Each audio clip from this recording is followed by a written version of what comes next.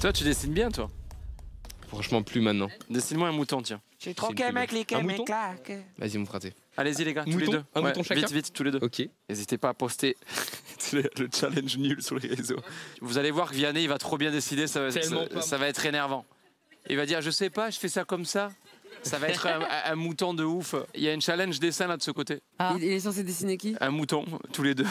Dessine-moi un Challenge mouton. Flo, c'est bon? Moi j'ai fini, ouais. Ok, moi aussi j'ai fini. Il est bien, il est bien, il est très bien. Et il a fait la barrière. Voyons, Vianney le tien. Mon frère, il. On dirait genre fluide glacial. Tu connais ces vieilles BD Bien sûr. Am- Amel, Les BD Voilà un beau mouton. Amel, euh, top au dessin. Ah, il est mignon, il est pas Ah ouais, mal. il est mignon, il a une tête de souris. Il a une tête de bizarre. Moi, je veux voir celui de Zazie en Zazie fait. J'ai beaucoup d'espoir. Oh Et bah, Mais tu sais quoi une vache. Ouais, je sais pas. Il est a- libre. Il, est comme ça. avis, Il il est libre Max Ah ouais, quoi. il est comme ça Max le Voilà. mouton.